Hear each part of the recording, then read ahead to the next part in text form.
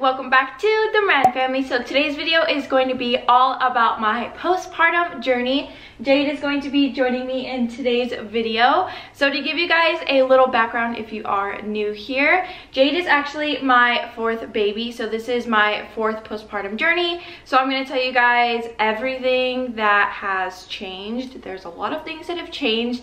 A lot of things are not the same anymore. So I'm going to just lay it all out there for you guys, show you guys what my body looks like after four kids. So just a little disclaimer, I just really want to emphasize that this is my postpartum journey. So by any means please do not compare the way your body looks to mine. So to give you guys a little background on my pregnancies my first daughter was born november 2013 my second daughter was december 2017 my third daughter was august 2019 and jade was october 2020 so my last two pregnancies were very close together. So in between when I gave birth to Everly and then when I got pregnant with Jade, I think that's about seven months. Let's see, August, September, October, November. So it was about six months in between the time that I gave birth to Everly until I got pregnant with Jade. So not a very long time at all. So I pretty much had pregnancies back to back. So that I feel like was definitely a key factor in how my pregnancy was with Jade, how my postpartum journey has been. If you guys saw my six month update with Jade, then you know how wiggly she is right now. She is very, very needy right now. So I have a feeling this update is gonna go exactly how that update was. I literally had to like put her down, put her on the playmat, and then in another part of the video, I had her in the bouncer, another part of the video, I had her in the jumper. So I apologize for that. She is just very wiggly. But anyways, so my last two pregnancies were very close together, and I feel like that played a huge part in how my pregnancy with Jade was, how my postpartum journey has been. Wow. So my pregnancy with Jade was very, very hard physically. I literally had Braxton Hicks my entire pregnancy and typically I only really get those towards the end when I'm almost um, ready to give birth. But with Jade, I literally had them what felt like first trimester all the way up until I gave birth with her. I even ended up in the hospital around 30 weeks because I was having consistent contractions and they were so painful. I wasn't in like active labor or anything, but I definitely was having consistent contractions. So I actually had to get a shot while I was in the hospital to make my contractions stop because they just kept coming. And even before I actually went into the hospital for those contractions, I was actually having contractions for a while. I was having them for maybe like two weeks on and off. I just didn't know that they were actually contractions because they were a lot different than my, you're very talkative. They were a lot different than my other pregnancies, so I didn't actually think that they were contractions, but the pain just became unbearable one day, so that's what led me going into the hospital. But now looking back, I definitely was having contractions for a while. So Jade's pregnancy was just very, very hard on my body. After, after I got home from the hospital, I was put on bed rest all the way up until I gave birth. So I was on bed rest for like 10 weeks, you guys, which was so hard because I'm somebody who mm. likes to stay busy. If I see a mess, I automatically need to clean it. And Benny was a very big help. He helped me with dinner. He helped me with the kids. He gave them baths. He helped me stay off my feet. But like I said, I'm just mm. somebody who likes things done a certain way. So if I sit there and I like watch you clean, I'm just like, oh, you're doing it wrong. And I will just like judge you. I know that sounds bad, but that's just how I am. And I truly get that from my mom because my mom is the same exact way. It's just so hard for me to sit down and let somebody take care of me because I like to do things, you know? Like I like to stay busy. I like to keep myself busy. So it was very, very hard to stay on bed rest. But I tried my best to stay off my feet because when I would get up off of my feet, if I was on my feet, I kid you not, for 10 minutes, the contractions would start to pick back up again. So I had to stay off of my feet for 10 weeks and it was just so hard. And I feel like it just made my body so weak because I had to stay off my feet. I wasn't active. I wasn't like walking around as much. So I feel like it made my body so weak, you guys. So I definitely feel like that also played a role in why my postpartum journey this time around was so hard. This postpartum journey has been my hardest postpartum journey compared to all of my other postpartum journeys. My body just feels so weak and I definitely do not look the way I did before. And something that I do want to say, why do people expect us moms to snap back? Like we literally just created a whole human. Like our body has gone through so much. We just carried a human in our body for nine months. Our body has been changing, stretching, growing for nine months. So why would you expect our bodies to go back instantly? Like so many people praise you when you post a bump picture on social media and they're like, yes, like you look amazing, that belly is growing. And then once you have the baby, everybody just is kind of like, ooh, like your tummy is squishy, like you have stretch marks, like I mean, what do you expect? Like, our bodies just went through so much. Our bodies were beautiful during pregnancy. Our bodies are beautiful after pregnancy. Like, our bodies are beautiful in any stage of motherhood. So I just want to say that because I know a lot of you guys that watch my channel are post six months postpartum with me. A lot of you guys had babies around the same time that I had Jade. So a lot of us are going through this postpartum journey together. So I just want to say that your guys' body is beautiful. My body is beautiful. Whatever your body looks like, it is beautiful. So try not to be down on yourself Trust me, I know there's moments when you can be down on your body. I have a lot of moments like that, especially this time around because like I said, my body is just changed so much. I've definitely noticed that my hips are wider. I've tried to put on my pre-pregnancy jeans and girl, let me just say, they do not go over my thighs. Like they hit um, like above my knee and that's it. I don't know my current weight right now. I've kind of like just thrown out the scale. I am a true believer in not counting on the number on the scale because just from like personal experience whenever I was at my healthiest and I was working out after my daughter Aurora because I was working out like almost every single day and I was like on it you guys like I was um watching what I eat and everything. I wasn't counting calories or anything like that, so it wasn't anything too crazy. But I was working out and I felt really good. I was seeing like results. I was losing inches. But the number on the scale actually went up when I was working out. So I am a firm believer in not paying attention to the number on the scale. I believe it's just the way you feel. But I do think I have not lost all of the baby weight. Definitely do not think I've lost it all. So pre-pregnancy, I was at 115.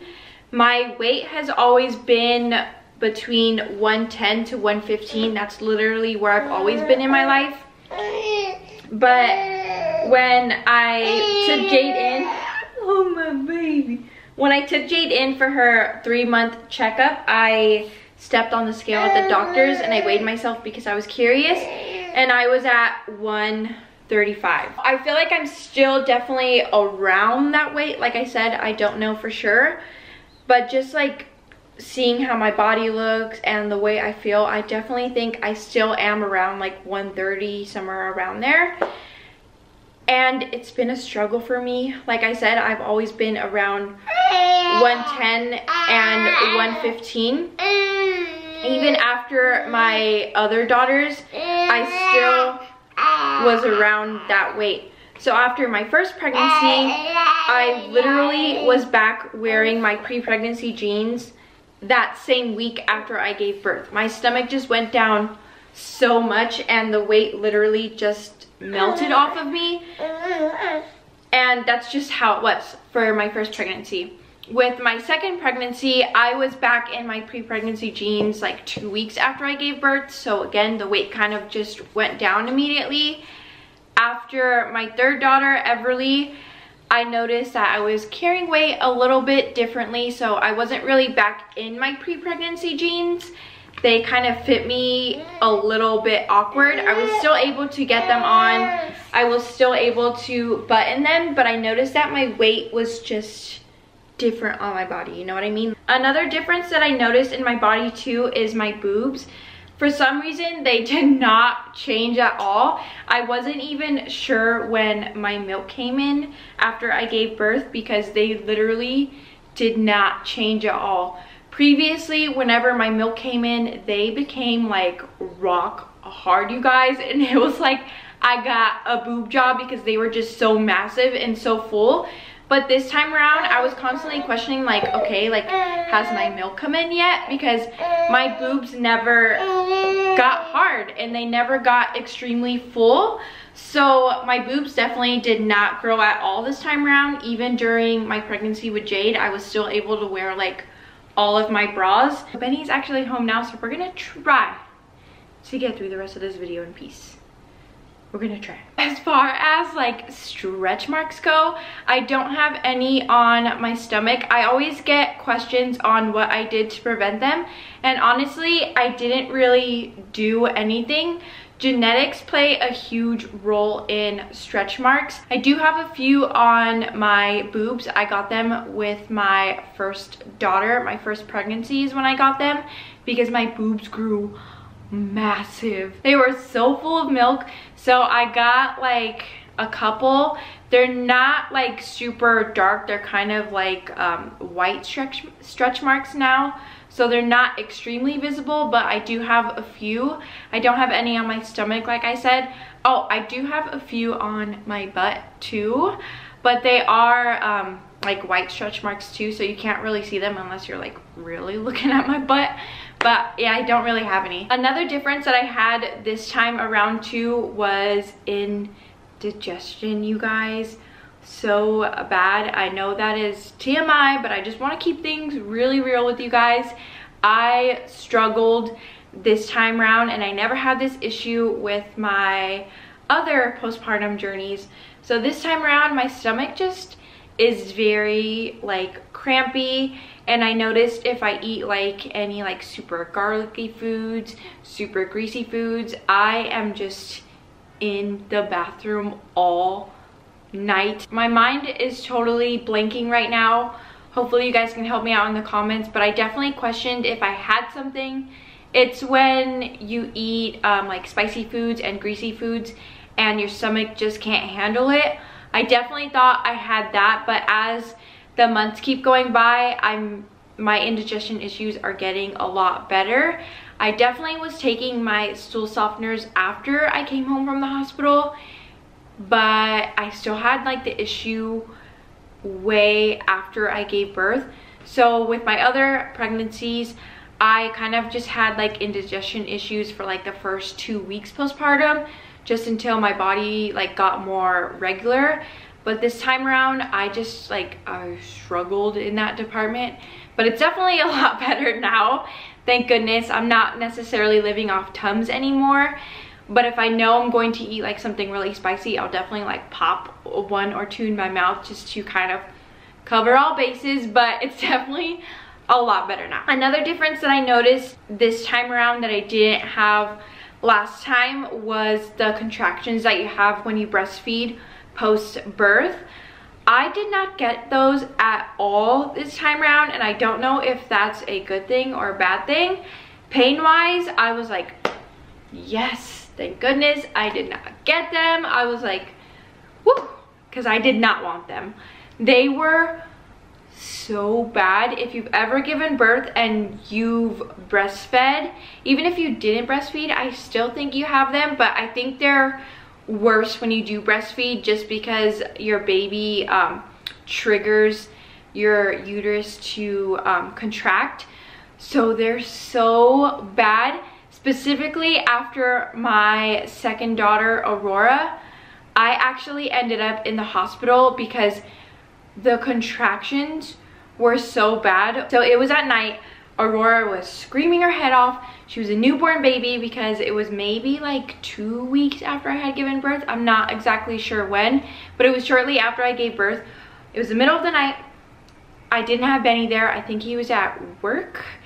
So he wasn't there with me. So I was with Aurora. She was screaming her head off. Thankfully, my mom was there because she had um, come out like right before I gave birth. So she was there for a little while after I gave birth too to kind of like help me out to get into the rhythm of things because Aurora is my second daughter. So I was, you know, adjusting to being a mom of two. So my mom was there to help me out, thankfully.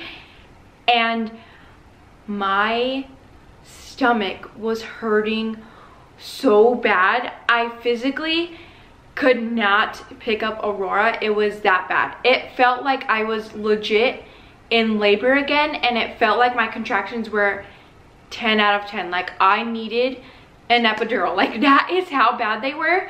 So thankfully my mom was there. I literally had to call her on my phone tell her to come into my room to grab aurora because she was screaming her head off. She was crying. She was hungry.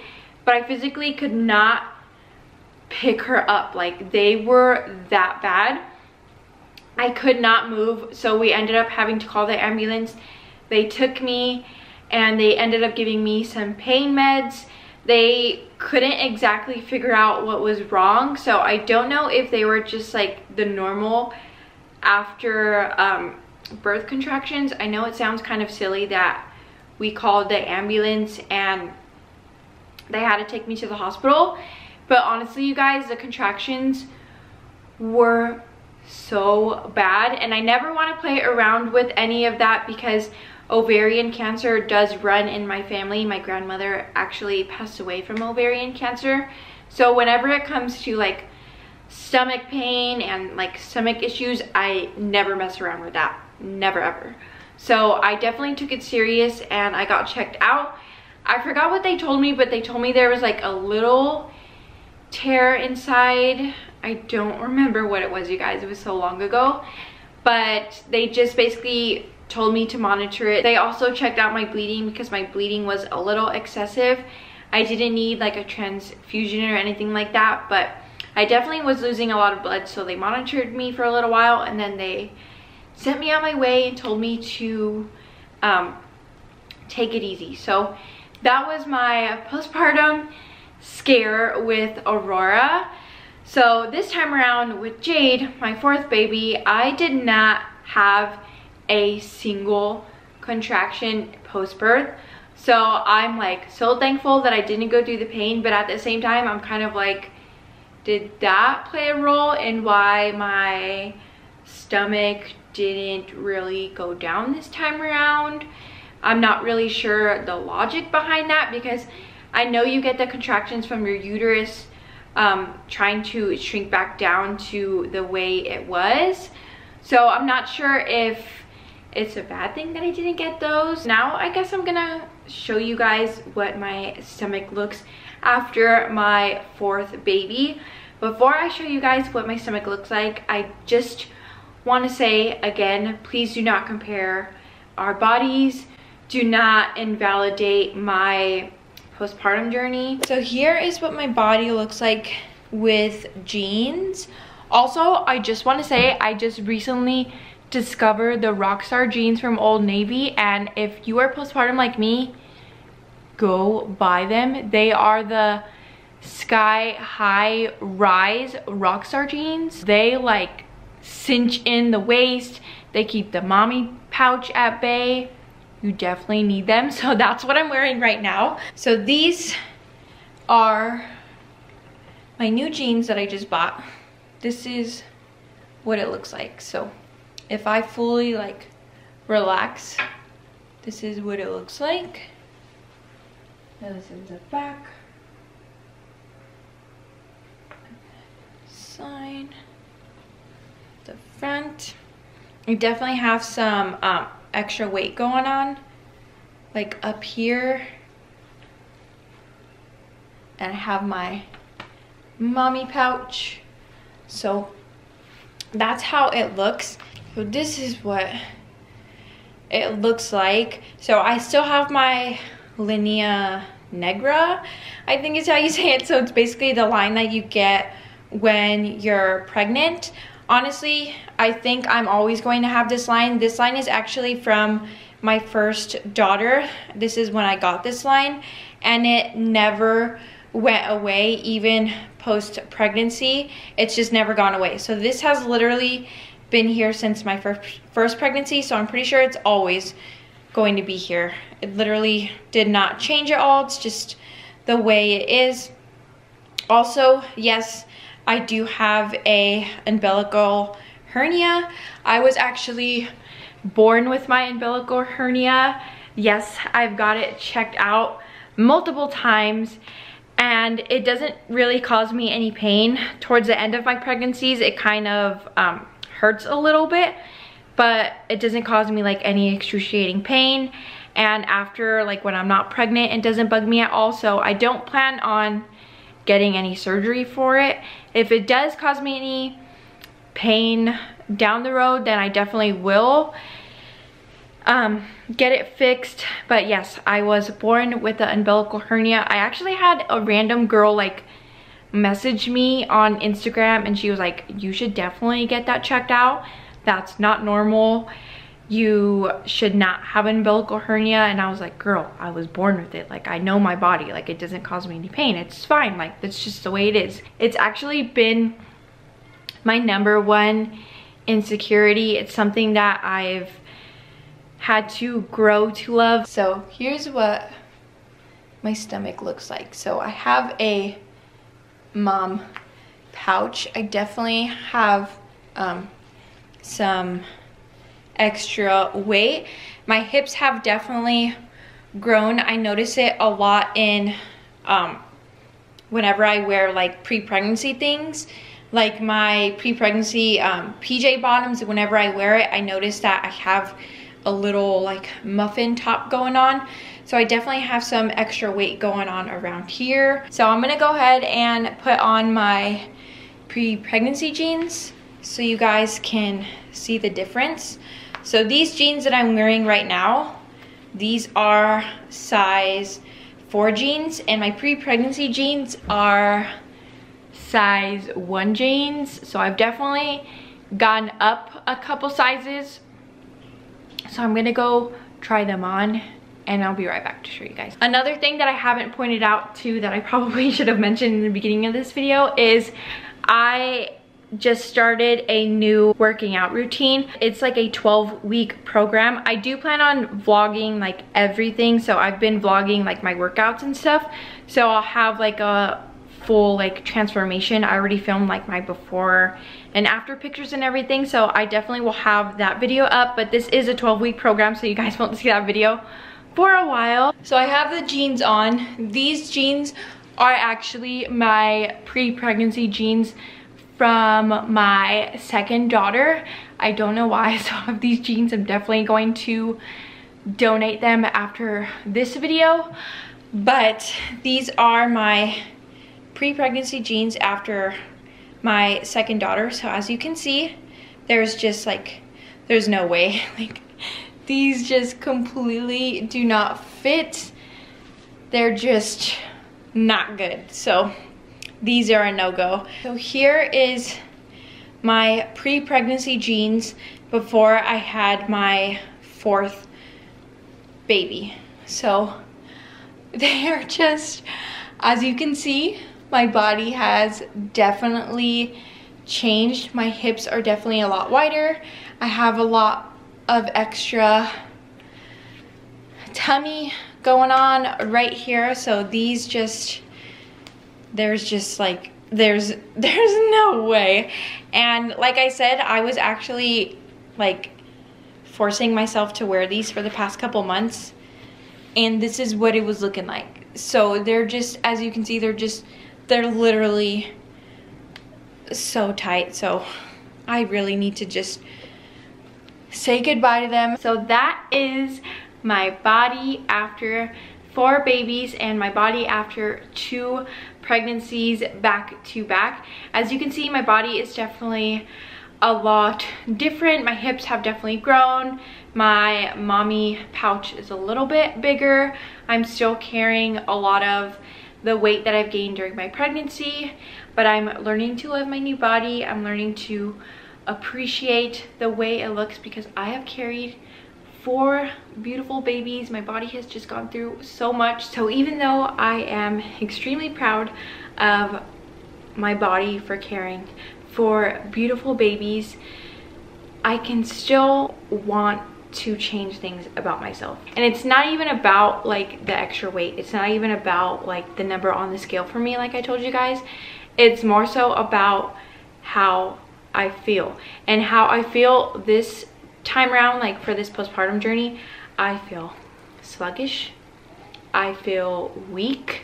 I definitely do not have the energy that i once had and maybe it's because i have all these babies that i've been chasing around but my body just does not feel healthy and i want to feel healthy. I want to be able to have the energy that my children have. I want to be able to chase them around the yard and not be out of breath, you know?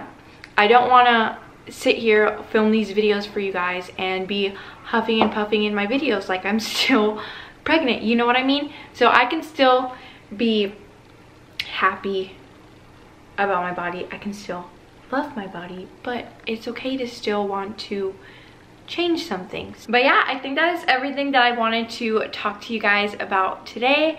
I just wanted to say if you are a mommy whatever your body looks like it is beautiful even if you are not a mommy and you're watching my video your body is still beautiful no matter what it looks like don't let anybody tell you any different learn to love yourself we are all beautiful in our own ways.